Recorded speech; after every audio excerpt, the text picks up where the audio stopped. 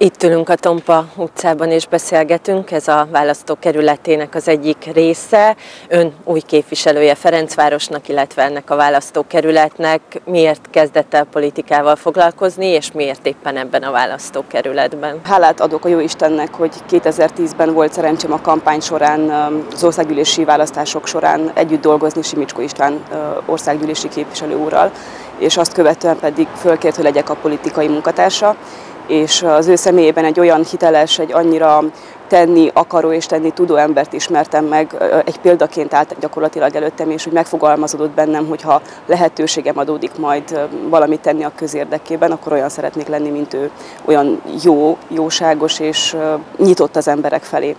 És rengeteget tanultam tőle. Képviselő úrral töltött idő az gyakorlatilag két és fél év volt, azt követően pedig ide kerültem Ferencvárosba polgármester úr mellé, hiszen itt is lakom Ferencvárosban. Ezeken az utcákon járok gyakorlatilag nap mint nap, nagyjából azt nem merem mondani, hogy mindenkit ismerek, de már nagyon sok embert meg, megismerek, és hála Istennek, hogy meg is ismernek ők is, és leállunk beszélgetni. Adott volt gyakorlatilag a helyszín, hogy akkor itt indulok, amikor szóba került, hogy akkor engem is jelölnek. A választókerületem az eléggé picinek mondható, és nagyon jól körbehatárolható a határvonalakat mondom, a Páva utcán, hogyha kimegyünk, elmegyünk a Mester utcán végig, a körúton be a Kicsi Tompa utcába, majd a Knézics utca, Hölgyes Endre utca és az Ülői úton végig megint a Páva utca, tehát ez az a, a blokk, ami, ami az én területem, de ez nem zárja ki azt, hogy képviselőségem alatt teljes Ferencvárosért is uh, igyekezzek a lehető legtöbbet megtenni. Mi az, ami miatt ön szerint jó ez a választókerület?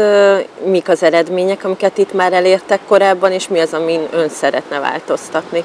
Szerelmese vagyok Budapestnek, és ez a választókerület is gyakorlatilag a Budapest belvárosának is mondható, és érződik ez a, a, a házakon, érződik mindenhol, hogy ez egy, ez egy belvárosi környezet. Nagyon szépen rehabilitálva van már igazából az elmúlt 10-25 év során, és hát itt gyakorlatilag már olyan nagyon romos ház nincsen, amit, amit teljes felújításon kell, amit teljes felújításon kell, hogy átessen. Tehát szép a környezet, igazából adott ahhoz, hogy az embernek egy, egy kényelmes, nyugodt élete legyen.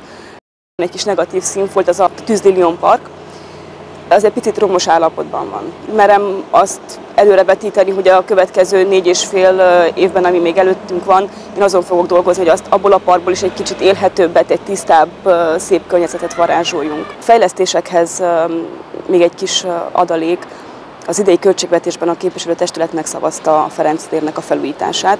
Ezek a munkák a közeljövőben el fognak már kezdődni. A Ferenc tér egy olyan pontja ennek a választókerületnek, ami, ami központinak mondható, hiszen a Tompa utcában, hogyha végig az a Ferenc térre vezet rá. Tehát az egy pihenő rész, az itteni embereknek ez egy jó lehetőség a kikapcsolódás, ezért nagyon fontos, hogy egy, egy élhető, élvezhető park jöjjön ott létre. Szeretnék oda azt nem mondom, hogy minden héten, de havonta legalább egyszer egy közösségi programot, valamit kitalálni, természetesen ehhez is nagyon örülnék, hogy adnának ötleteket az itt lakók. Ilyen program volt például még szeptemberben egy babamama bőrzét szerveztem. Nagyon sok érdeklődőt vonzott, és az anyukák akkor megkérdezték, hogy ugye nem ez az utolsó baba bőrze, mit volt a Ferenc téren.